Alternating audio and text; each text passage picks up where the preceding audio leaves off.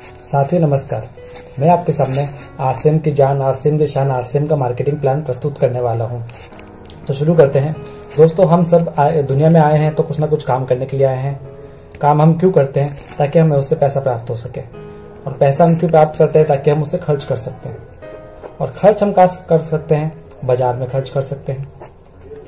बाज़ार में हम सब एक ग्राहक होते हैं या कस्टमर होते हैं। हम सब सामान कहाँ से लाते हैं? अपने पास की एक छोटी सी दुकान रिटेल शॉप से लाते हैं। उसके बाद जो रिटेल शॉप वाला होता है, क्या वो अपने घर में सामान बनाता होगा? नहीं, वो अपने घर में सामान नहीं बनाकर अपने से बड़े स्टोर से लाता है, जिसका नाम होता है होलसेलर होलसेलर वो भी अपने घर में सामान न बना के अपने से बड़े डिस्ट्रीब्यूटर से लाता है और वो भी डिस्ट्रीब्यूटर भी अपने से बड़े सी एंड एफ़ एजेंट से सामान लेके आता है। और जो सी एंड एफ़ एजेंट्स होते हैं, उसके सीधे कॉन्टेक्ट होते हैं फैक्ट्री या कंपनी से। अब जो फैक्ट्री है वो अगर दस रुपए में सामान बनाती है तो अपने तक पहुँचते पहुँचते क्या वो दस रुपए तक रह जाता है?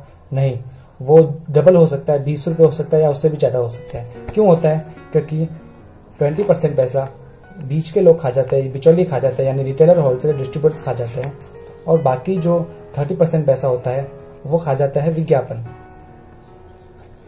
क्योंकि कंपनी प्रसार तो कर लेती है, लेकिन हमें कैसे पता लगेगा कि फैक्ट्री में कोई सामान बना है? इसलिए उसको विज्ञापन करना पड़ता है। तो काफ़ी ज़्यादा पैसा विज्ञापन खा लेता है, और जो ये बीच वाली होते हैं, ये भी कोई भलाई करने के लिए नहीं बैठे होते हैं, इसलिए ये भी कुछ पैसा खा जाते हैं। अब देखते हैं, इस मार्केट को ट्रेडिशनल मार्केट कहते हैं। इसमें कुछ खामियाँ निकल गई, जैसे ये जो बिचौलिए हैं, ये अपना कुछ ज़्यादा फ़ायदा देखने के लिए अवैध फैक्ट्रियों का निर्माण करते हैं, जिसमें ये डुप्लीकेट सामान बनाते हैं। तो हमें हम तक सामान महँगा भी पहुँचता है और डुप्लीकेट भी पहुँचता है। तो इससे निपटने के लिए क्या किया जाए? इन सबसे बचने के लिए हमारे आरसीएम के फाउंडर टीसी छावला सर ने क्या सोचा कि ये जो सिस्टम है इसमें सबसे इम्पोर्टेंट क्या है? इसमें सब, सब, सबसे इम्पोर्टेंट है फैक्ट्री उसके बाद इम्पोर्टेंट है ग्राहक।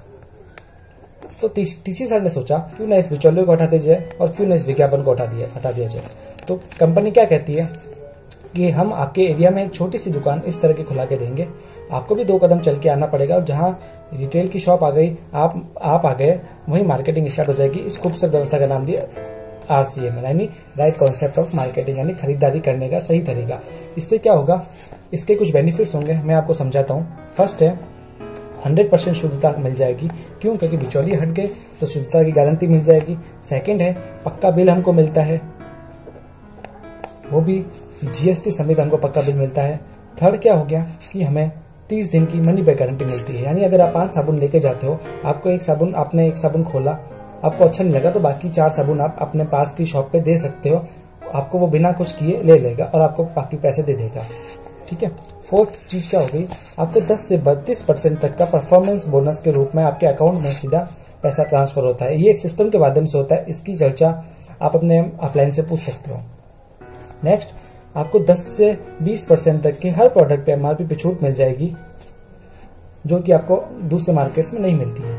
सिक्स आपको एक बिज़नेस करने का मौका मिलेगा, जो पिछले पाँच फ़ायदे थे, वो आपको ओनली फॉर खर्चा करने से मिलेंगे, यानी आप सिर्फ़ अपने घर की दुकान चेंज करना।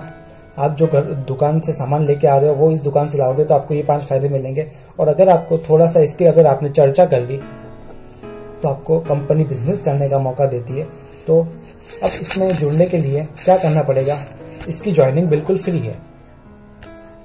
इसमें सिर्फ़ आपकी आधार की, आगे की फ़ोटो पीछे की फ़ोटो आपके नॉमिनी का नाम और डीओबी और आपकी कुछ अदर डिटेल्स और बैंक का खाता की पासबुक की फ़ोटो ये सब चाहिए होता है। इन सबसे आप अपने अप्लाइन से या आपको जिसने प्लान दिखाया है, उससे आप ज्वाइन करवा सकते हैं। ज्वाइनिंग प्रोसेस एकदम सिंपल है। तो आप इस तरह हमारे आरसीएम फैमिली में आ सकते हैं। धन्यवाद। ये था हमारी आरसीएम का प्लान